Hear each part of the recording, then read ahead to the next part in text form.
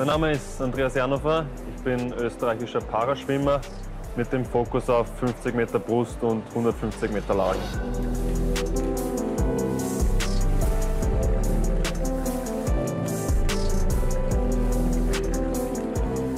Ich hatte vor einigen Jahren einen schweren Unfall, habe ich einen Köpfler ins Wasser gemacht, mir drei Halswirbeln gebrochen.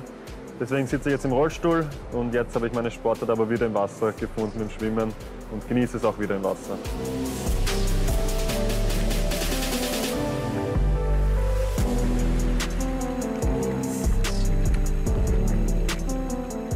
Also mein jetziges Ziel, was ich schon erfüllt habe, war die Qualifikation für die Paralympics. Und jetzt ist natürlich die Teilnahme dort sowie der Europameistertitel, auf den bin ich auch ganz heiß.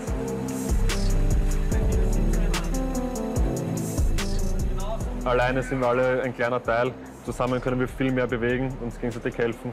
Und genau für das steht die Sporthilfe ja auch. Ohne dem wäre ich nicht da, wo ich heute bin und könnte auch nicht so professionell trainieren.